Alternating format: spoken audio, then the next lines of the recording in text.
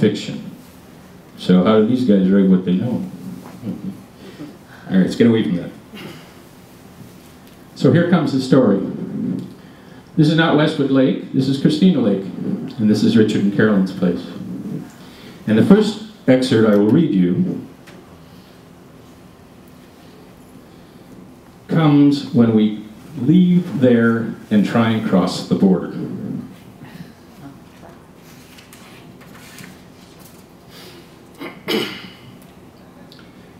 On the morning we left Richard and Carolyn, buffalo steaks fell off the menu.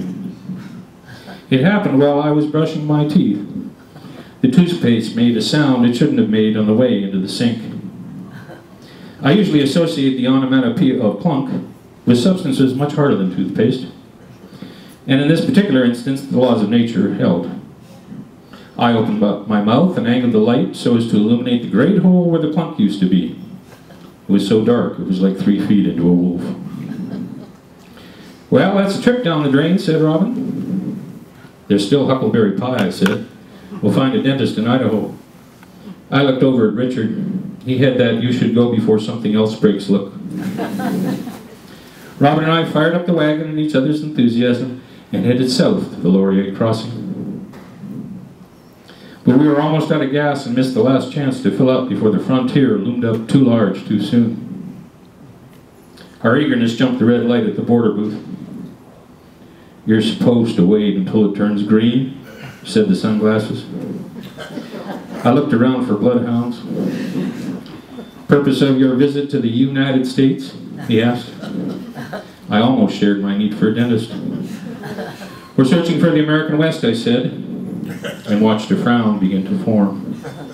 I want to see Montana, Robin added in her Kiwi accent. The frown went away. Y'all enjoy your visit, he said. How far to the next gas station, I asked. Indians have a place about 10 miles along, he said, waved us through. Wow, I thought. Not a minute into the Wild West, and we're already on our way to meet our first Indians.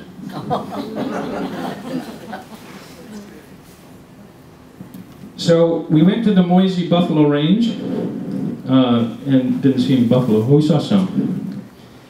Uh, and then we climbed a mountain into a ghost town called Garnet on a very steep road where we almost fell off into the abyss and then found a whole parking lot full of RVs and trailers that had come up using the highway. I heard about that one for a while. this is the most poisonous uh, body of water in the North American continent. The Berkeley Pit in Butte, Montana. I got a whole chapter on that one. And this is the Sacajawea Hotel where you have to have breakfast in bed, or else. This is uh, the Lerkin Mansion in Bozeman, the last best place. And then we hit Crow territory. And that's a Crow taco. Fried Indian bread and Mexican helpings. And that's Bert Salary in Sheridan. And that is Buffalo Bill's Hotel, the Occidental. Downtown Buffalo, Wyoming. And the Buffalo, Wyoming is no relation to Buffalo Bill. It's actually named after Buffalo, New York. But it's where the second extract that I'm going to read you comes from. The Occidental Hotel has a, has a restaurant called the Virginian. And I went downstairs, there wasn't anybody in it. so I went back upstairs to get my lovely assistant. no one was eating in the Virginian. I went back upstairs to get Robin. Quieter than a mouse chewing cotton, I said. What about that steakhouse we saw on the other edge of town, she said. So we went there. Beyond the wild Mustangs and cattle and cowboys on the mural near the bridge, Buffalo, Wyoming, a creek runs through it. It was called the Winchester, and the parking lot was full. Inside was the kind of noise you only hear in American restaurants, the sound of individual digging into bowls after guts, gorging on a good deal. We had to wait. The fastest way to move cattle is slowly. You must be getting hungry, said the girl that finally took us to a table. My belly button's rubbed a blister on my backbone, I said. We ordered ribeyes and mushrooms with potatoes and an iceberg salad wedge with blue cheese dressing and moose drool beer to wash it down. How y'all like your steak, she asked. I looked around. Lop off the horns and the tail, put it on a plate, I said. And we waited with anticipation to experience what had brought all these other Wyoming gourmets to town. It didn't go well. We were two moose drools down the road before the food caught up. Everything was as big as the country, but the potatoes tasted of powder and process and packaging. The mushrooms tasted of tin. The blue cheese dressing had drowned the lettuce wedge, but it may have been an act of mercy. I detected a strong odor of Bovril. The only thing fresh was a beer glass that Robin asked to be replaced because it was dirty. It came hot, fresh out of the dishwasher. My ribeye tasted like it had been salvaged from one of the taxidermy torsos on the wall of the Occidental Saloon. And it came with an unexpected bonus. What's that? asked Robin. I looked down at a filiform foreign body in my meat. Dunno, I said. We called over the waitress. What's that? I asked. Dunno, she said. She called over the manager. Then they went away to decide. We think it's a noodle, she said on returning. You don't have noodles on your menu, Robin said. She offered to bring me another ribeye, but I was full. so we ain't going back. This is the, the medicine wheel at the top of a mountain in uh, Wyoming, and then you drop literally 4,000 feet to the bottom here. Sometimes, sometimes we just knew we were in the American West. So this is, this is a, a memorial commemorative to uh, uh, Chief Joseph, Nez Perce Migration Trail of Tears. We went through, uh, had the fortune and misfortune to go through Yellow, uh, Yellowstone when uh, they had the retrenchment of the U.S. Um, Civil Service. So there were uh, literally busloads of Japanese people who weren't allowed off to use the facilities and uh, they, were, they got into trouble for trying to recreate, whatever that was. so we had a little swim in Yellowstone. We went to Jackson. And then we arrived in Ketchum, and they had the parade. So, I need to explain this a little bit. Because that's my lovely assistant on the right. The guy on the left, I had met a little earlier. And I'll tell you how that went.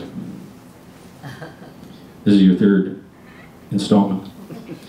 My paper plate was heavy with pancakes and sausages and bacon and eggs, and the orange juice in my other hand was searching for a place to land.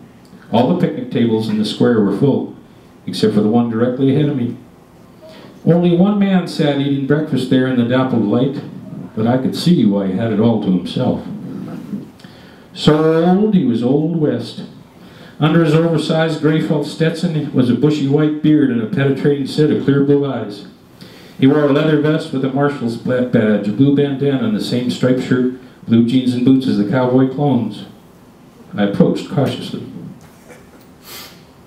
Is anyone sitting here? I asked. you see anyone? He said. You can always tell a cowboy, but you can't tell him much. He motioned me to take a seat. How old are you? I asked. Older than the mountains and twice as much dust, he said. I've seen 80 go by. I told him I thought that was pretty old. It's not about how fast you run or how high you climb, he said. It's about how you bounce. Out here you live a long time. Even horse thieves have to hang five minutes longer than anywhere else. I introduced myself.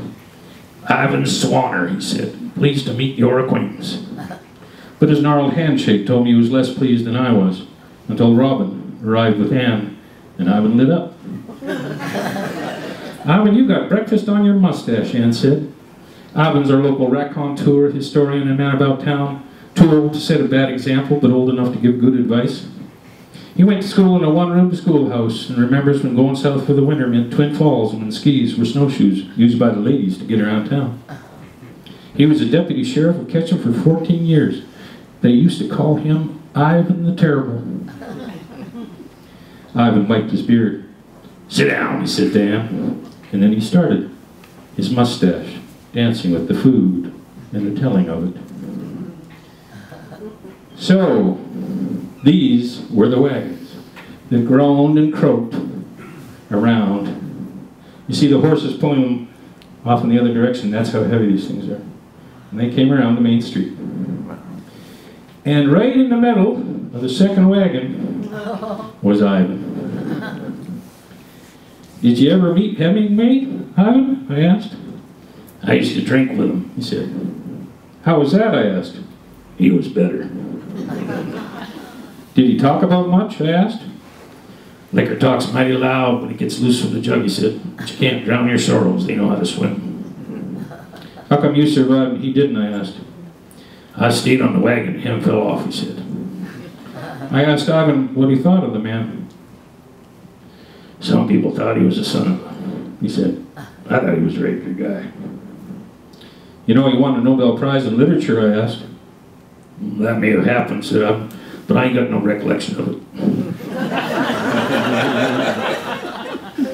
so then we got into the country, uh, way into the country.